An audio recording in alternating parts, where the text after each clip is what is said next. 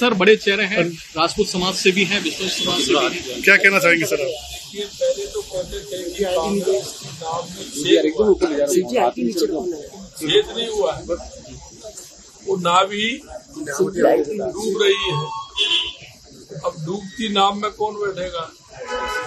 तो आप देख रहे हैं जिस तरह से लगातार कांग्रेस के लोग भारतीय जनता पार्टी में आ रहे हैं। मैं आपसे कहना चाहता हूँ कि राजस्थान के अंदर आप जिस तरह की स्थिति देख रहे हैं,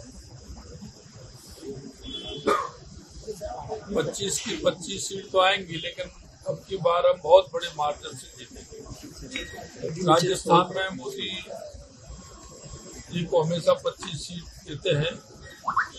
पच्चीस सीट रिकॉर्ड मत से अब की बार जाएँगी।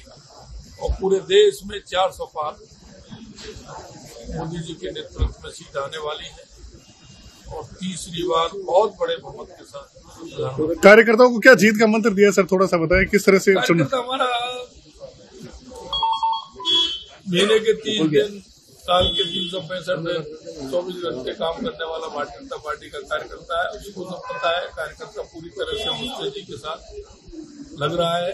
और हमेशा परिणाम देता है, इस बार और अच्छे परिणाम। अगर आप ये वीडियो YouTube पर देख रहे हैं तो हमारे चैनल को सब्सक्राइब करें और बेल आइकन को दबाना ना भूलें। अगर आप Facebook पर ये वीडियो देख रहे हैं तो हमारे पेज को लाइक करें।